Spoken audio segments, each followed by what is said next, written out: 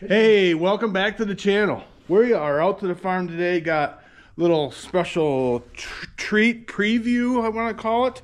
Um, I don't know if you can see in my shirt here, but my friends in New York, Mark and Dave, are pretty pretty cool dudes. But anyways, they they've kind of helped out with these this merchandise idea and uh, have sent me a few ideas. I don't know. This is actually my son Jacob's design here. If you can see that. And then this here looks like the hood, you know, of a Minneapolis Moline. Say, you know, you know, G1000, 900, that, you know, Vista, all them. Then on the back of the shirt, I don't know if you can see or not, but I'm, I'll do it on somebody else. List the models. Here, you want to turn around, Pop? Say, hey. Anyways, yeah. Look at this. Look at this model here. Well, anyways, I don't know how well it's picking up, but you know, it starts out from the JT all the way to the 955 and 1355 uh, years they were built. Um, you know, and how many horsepower, this and that. You know, they did a little bit of research. Uh, this this was their idea. Awesome. I love it. What do you think, Nick? It's pretty nice. Pretty nice. All right. And this is another design they did too. Uh, Jake is modeling for me. Oh, look at that. You know, only that. I don't think this one has anything on the back other than dirt. Anyways, oh yes. And uh, some of my favorite family models right there. But uh, I don't know what you guys, what do you guys think? Uh, of course, I like the yellow and I don't know what combination we'll, we'll do, but we're, we're getting there on the merchandise. We're in the beginning stages, um, thinking about it. But again, thanks to Mark and Dave. I, I, can't I can't say enough good or, or yeah I can't say enough good about those guys. That's what I'm trying to say. But anyways, since we're near the the Shark, which is my dad's 1967 U302 diesel, um, I do get questions quite often about the history of it. Why is it why is it gray? This and that, other things, and uh, so maybe we'll get some answers from the horse's mouth as much as we can. So, huh? yeah, he's he's neighing over here, you know, like a little Shetland pony. I guess that's better than a mule or something like that. Anyways, so we'll set you up right there. All right, Dad. Tell, tell us the story. When, when was this bought? By Grand, Grandpa bought it brand new, and what year? I believe it was uh, 68. Okay. Uh, 68 or 69. Okay. Why don't you stand right Yeah, here so you're in front on the camera? Now, I would have been um, 12, 12 Twelve. years old. 12 years old. Wow. Bought that loader That's right. and back blade. And he had a snowplow set up on the front of the loader. Okay. Well, I've, I think I forgot about that. Um, you, you talking about that, I never had seen it, of course, but Then he got a three bottom plow and a 12 foot drag. okay. The 107 lawnmower, That come, it that wasn't. come the next year, I think. Okay, okay. I was thinking that he bought that all together, but He might have. But Yep. Yeah, I didn't- I'll have to look at the receipt. I got to Right. find that again. I, He, he bought that in the corn picker, I think, at the same time. okay, what model corn picker was that? Oh boy, I used to know. 72, weren't they? 74, I think. 74, 72, something Yeah. like that. Yeah, I don't mean to correct my father, but you Well, know that's sometimes he needs it. That's what your mother says. Yeah, no kidding. So, anyways, so what what what happened? You had to, Grandpa had to get rid of this tractor at that time. Well, we had uh, engine problems, and I think it was up in the head. There was something that went bad with, uh, uh, they told us it was a bad batch of oil. Yeah. Um, plugged the screens, and she went out. And that was when White was converting all their factories into one, or at least the ones that made the parts for this. So they said it'd be six to eight months before the factory was ready. So that's how, you know, it was down.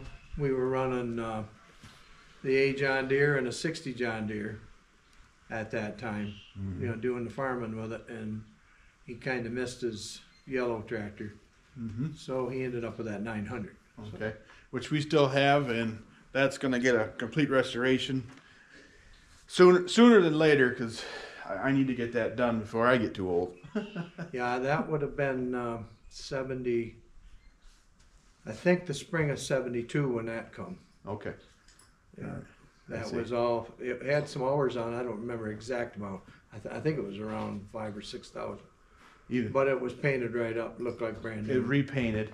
It had five. You know, it was only. It's a, it's a late '68. So if it was '72, so it's you know three four years Yeah. old. That's a lot of hours on a tractor that young. I mean, yeah, well, she was. They said they had her on a three-row chopper. and the guy did custom chop. Custom chop. Okay, all right. So it, it ran, ran, ran, ran, ran. So I, I understand that. that's a three row pull behind chopper. That's nothing compared to custom guys now. Right. you know, there, there's there's Yeah. some pretty pretty big choppers out there, self propelled, and Well, in '72 the corn was tall, but it didn't yield like it does now. yeah, that's that's that's true too. But yeah, they've come a long ways on genetics, I guess. But anyways, so what? Uh, explain too. There was a mishap before the engine mishap too. Oh yeah. Yeah, in the rear end. That was on Memorial Day, about 1970. Was plowing in the back back of the farm, and he come up over a flat rock, which did not hit hit the tractor, but the plow hit it and flipped it up or tipped the tractor just enough, and there was a a dog that come loose out of the PTO clutch and went through the bottom. Yeah, got caught between Yeah. the bull gear and the bottom of the rear end case there. And they took her back down to the dealer and they took her apart. And the guy was a real good welder and he welded that pieces. We had all the pieces. Put them right back in there and it's never leaked as far as I know. Yep. And that's how come I knew it was it Yeah, when we when we found it because she had again. the scar, So, yep. the wound. Right. It's kind of hard and dark in here, but um, we could get a. If I had a flashlight, I, would, I can show you it, it there. So, Yeah. but so um, it got traded back into Ball Equipment in Sandusky, Michigan. Then uh, a guy named Bill Dawson bought it or, or acquired it, whatever. Um, he owned it, and uh, I was talking to uh, that guy last week uh, who I was talking about on a Oh, yeah, video. yeah, yeah. I'm not using I'm not using his name Yeah, because yeah, he he's kind of a private individual. Well, anyways, he, he said he he helped work or he worked on this tractor or uh, helped them too or, or later on. Um, anyways, Bill Bill Dawson has has passed on. He was known in the area to be a a, a good puller. You know what I'm saying? Of course, he's a good puller. He pulled Molines, right? Uh, I think he has he had some other colored tractors there too, and I don't mean like silver. I mean, um, I think possibly Olivers or Massey's or you know other ones too. I don't think he was totally all Minneapolis Moline, but that, that's beside the point. Um, but anyways, we acquired this from his grandson, um, who was wanted to upgrade some stuff. You know, he's a young young farmer. You know, and and luckily, you know, everything aligned. And um, I knew one of the, oh, he's actually still alive, mechanics that worked at Ball Equipment, uh, was a friend of Bill Dawson's. Anyways, he, he, he got me in the door. And uh, we really only wanted this one, um, but we ended up with four other ones. Um, anyways, um, and, and he was, the grandson was nice enough too, um, you know, because I don't like to go into debt for tractors. Um, my wife really doesn't like that, so we don't do it. But anyways, so he let me save up. I took two at a time, and well, at the end got one. But anyways, because there was five, um, Dad and Dad had to buy this one. Um, he, he wouldn't let me, so now I'll just inherit it. Dad, I'm not in a hurry from, in a hurry for my inheritance. Well, it could happen anytime. Anytime. You never know. I know you never know, but uh, okay, let's let's change the subject. Yeah. Okay. a little bit. But anyways, Dad, do you remember? I was noticing this last time I was over here. The throttle. Now, that I'm not sure about. Um, It does it, it, for a for a super. That's not the right throttle. I'm thinking. Well, she went through a, s- a part of a fire too when they the other guy had it, Okay. and it might have got changed in that process. Yeah. But I can't remember whether it come through with that or not. Now, one of them we had did not like the throttle. You had to kind of keep your hand on it, Right. keep Right. it going, and I don't. Yeah. It could have been the other one. Okay. Just our three or something. Yeah. Well, your Jetstar three was a, was a was a um, a low band or a you know a regular Yeah. pre pre super. Yeah, So- because that's what he traded on. This one was the Jetstar three. Okay, all right. Yeah. Yeah, they're they're a nice tractor too, but now that we're was, that was uh, low to the ground, and he right. kind of wanted to get something a little bit higher. Yeah, with you know Jetstar three the 28 inch tires, you know you spin twice when you're plowing, you're, you're stuck. Yeah, with a, with a mounted plow. we Yeah. got stuck quite, Right. quite a lot. Yeah. But uh, Bef- that was before the farm was tiled. yeah.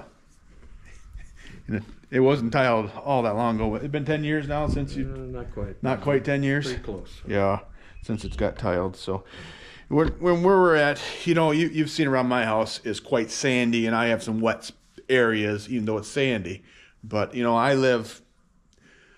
Let's see, it's three, four, you know, about five miles away from the farm, and the farm has got almost every dirt you can imagine on it. You know, where we're standing is well, this is kind of clayish, but where where his house is, it's kind of sandy and gravelly, but most of it is clay, and uh, um, there's some there's some springs on the farm, you know, with a ditch going through it, so um, not really anything to really show, I guess, but um, Well, there's a big lake behind the farm, and Yeah. that kind of keeps the springs up. When Mm-hmm. the lake is up, the springs come up. It's it's kind of a, a recreational lake. There's quite a few houses around around it. Um, they that when it was put in, it was they were basically put in as cottages, but a lot now a lot of them are permanent residents. But anyways, there's an inlet and an outlet. Well, on the outlet they do have a dam on there, so they kind of control the water. Um, if there wasn't a dam on there, the water table would be down, and the lake wouldn't be what it is probably. So, you know, it's just something you have to live with. So, but that keeps the water level up around the lake too. So. But, anyways, um, this, this tractor was my automobile for a while okay, until I got my driver's license. all right. So you took this is the one you took ice I fishing. took no, I took it fishing. Just- well, yeah, just I actually had it on the lake a little yeah, ways, yeah, but I shouldn't have. But I yeah. did. But uh, this is the one where there's another couple lakes around us, about three miles away, and my buddy caught a great big pike, and I'd never seen anything that big. And I reached down, and it flopped up in the air, and one of the other hooks got me in the finger. Oh. So I drove home with a 30-inch pike on my finger. Yeah, that'd have been So- that- that'd have been interesting. You know, it's good. Imagine if they had had cell phones and TikTok and all that stuff at that time. You know, video and you know. Oh, yeah, that hurt. I, I I bet. I bet. flopping around. Yeah, and you didn't even catch the fish; it caught No, you. it caught me. Yeah, yeah, yeah. I get that. Huh? I just noticed something. You're missing a brace on that M670 here. Um, they want to coming back this way. I, I've got some. Okay. Okay. I'm I'm kind of like a squirrel apparently or something. I don't know. I got a few of them too. Yeah. I mean, real. Yeah, that one's missing a sway block too. No, it's in the shed. Oh, okay. You got that one. Put that ditcher on it. We took that off. Oh, okay. Yeah. Brother did. Yeah. Mm-hmm. Not not molding Jeremy. No, no. Um. Anyway, so you still want to repaint this one someday, or yeah, I think so. Okay. Some, sometime. yeah, Not a big a hurry. I like to get some of these green ones painted too, though. yeah, right, and the old ones back all there. right. I don't know. The, that old ZA over there, that, that's real nice original paint. Yeah, Yeah, that's a nice driving tractor. yeah, I know it, Dad. We we searched and searched um, for a nice late model ZA because he wanted one with the pressurized radiator cap.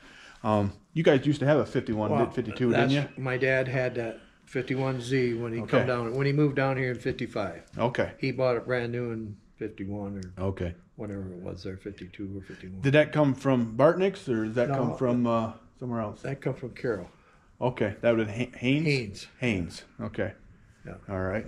All right. Interesting. He bought that and he bought a Model 69 Combine. Moline combine. Okay. Yeah, he was in. Uh, he he was pretty high on the hog there when he had them babies. That Wisconsin four cylinder Wisconsin. Yeah. I can remember trying to start that old baby. You get her running, you didn't shut it off Yeah. because once it got warm, it didn't want to start again Yeah. They're kind the of next day. kind of known for that, I guess. But they were they were quite the machine in their day. That's for sure. Nothing compared to nowadays. Even hobby farmers have something bigger than that. Yeah. But, mm-hmm. Yeah, that's an interesting story. another another interesting story. This tractor here, uh, 67 M670. Bought that from a buddy in Will, buddy in Iowa. His name is Will. But anyways, they didn't have this seat on it, and that's not the correct seat. Yeah, I know it. How, how many get does that drive you nuts? See that that and same frame, but he put a lawnmower seat on there. I put that on there for you? Um, but anyways, we'll get that changed someday. Um, I need that on the lawnmower. we uh where was we we left i was in minnesota with a trailer right we went out to southwest minnesota drop off the parts or what did we d- We must have went up. I can try- the tractor up there. and picked up the engine for the 955. oh, okay all right that's what it was that's right okay thank you jake jake was with with me that was quite an evening so well anyways so we got to my buddy will's at it must have been like nine or ten o'clock and he wanted to make a supper So, and I think he had it done long before we got there. But anyways, so we ate, we ate, got, got the tractor loaded. We ate, um, headed out. You know, this so this is you know after ten o'clock at night. It's dark out. It was summertime. That I do remember. It hot, yeah. It was hot, and I had my old pickup that it well two pickups ago. But anyways, the AC didn't work very well at that time. Um, Yep. All right. Okay. Nicholas wants you to know that it's his truck. We're we're buying that truck back from. I, I sold it to a friend of mine, and well, we're buying it back. Um, huh? No. Silver. No, we're not painting it silver. All right. Well, anyways, I'm gonna lose my train of thought, and I see my battery's getting low.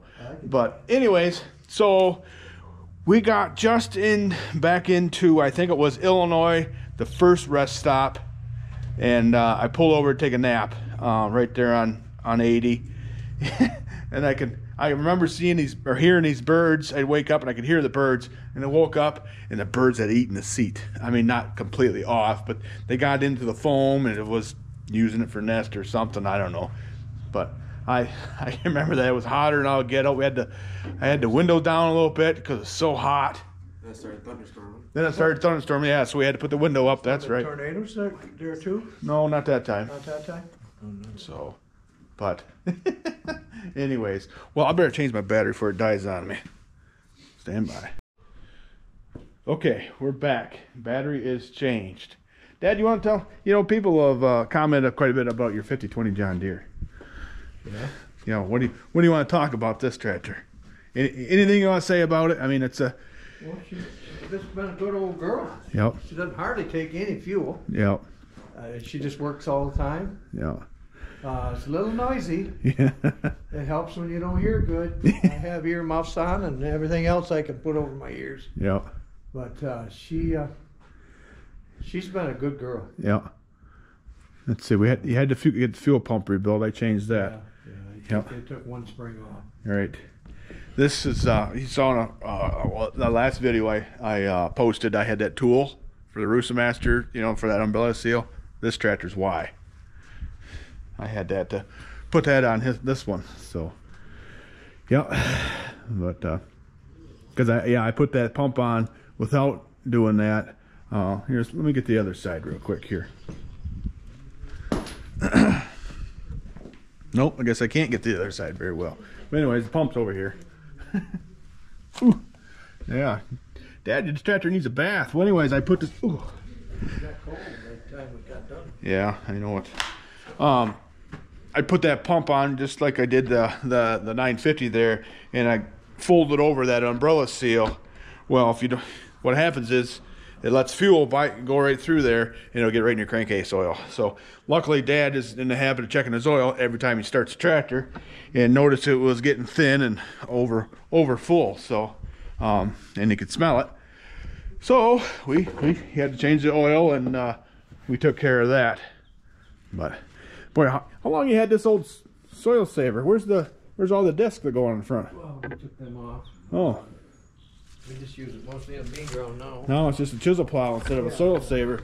Yeah, this used to have you know uh, a set of straight disc in front of it here forever and ever. Well, that was on the 5010. What do, what do you got going on there? Well, I found that in the barnyard when I was cleaning up around down That's off a wheelbarrow, isn't it? there. Across the silo. The silo filler. Silo filler, yeah. Oh, Jeez. yeah, like, cleaning up down there. I see. I had, I was working ground. Wow. I don't know. It might be, but uh, it might.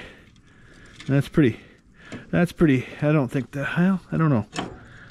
Interesting. That could be. It does look like a wheel, but off of uh, off an old wheelbarrow. But whatever.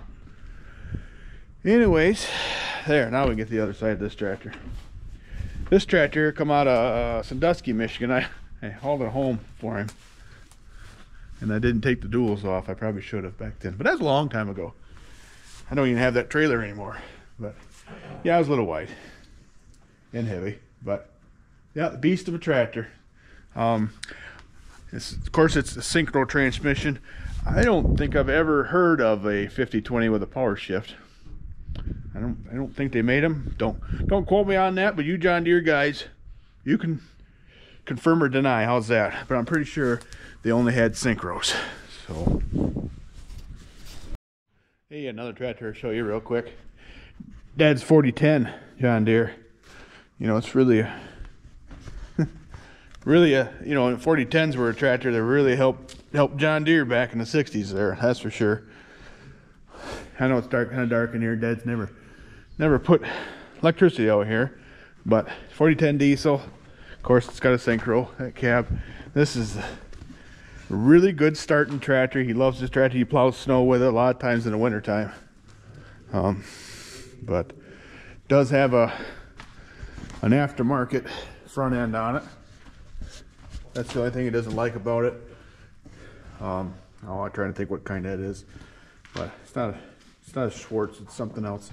But they're they're they're a lot lighter than the the factory John Deere ones. Easy to tell right here. It's a kind of a flat piece right there. Well, of course, you look at that too. But anyways, loves loves that tractor. What you guys looking at? I thought I seen a skunk. You thought you seen a skunk? Yeah. Well, you might have. Yeah. Yeah. I, I, I, hey, we, we, we don't need to confirm. That's a skunk. You know what I'm saying? Skunk So- or raccoon or something. Huh? Skunk or raccoon or something. Yeah, it could be. Could be. So. You just had the combine running? Why? To move it? You just to move it? Yeah. The, the- my main uh, concentration in the video is I wanted to show you the shirts. Get your opinion on it. I guess, uh, you know, what do you think? You know, it has uh, 1050 and a 950 on the front here. Um, that was kind of a little tractor ride that I put together. Was just family last year, and that's what the picture is from. And Jacob made that, which is pretty cool. Then, uh, you know, my friends there from New York, you know, helped me out with help me out the rest. There, this is kind of a hobby of theirs. They don't want to do, you know, big mass quantity orders or production, so they're they're happy to help with this initial stuff.